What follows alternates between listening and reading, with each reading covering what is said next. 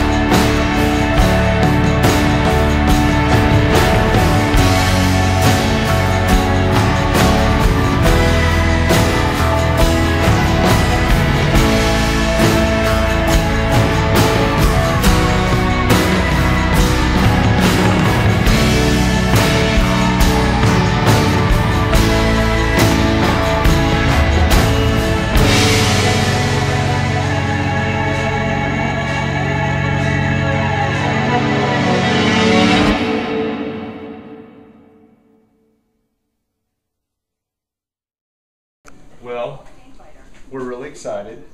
Um, you know, we're having our third child, right? And we've got our birth plan. Really excited about it. Um, one of the main components of our birth plan is no English, right? That was something really important to us was to have everything done in Spanish. And uh, hola, ¿cómo estás? Hija, chica. So how are you feeling, Melissa? Bueno. That's good. But in English, how are you feeling? I'm feeling good. She's feeling bueno. And uh, we're just so excited. Uh, April's here to take pictures. And uh, we're looking forward to the water breaking. We're looking forward to our doula coming in. And we've got some maternity exercises we're going to do. What else do we have? We've got a couple of midwives on standby. And um, we've got some really relaxing music we're going to play. And we got an Indian chief that's going to come in and do a tribal blessing and then do a rain dance before the water breaks. So that's going to be really neat. So I'm just so excited.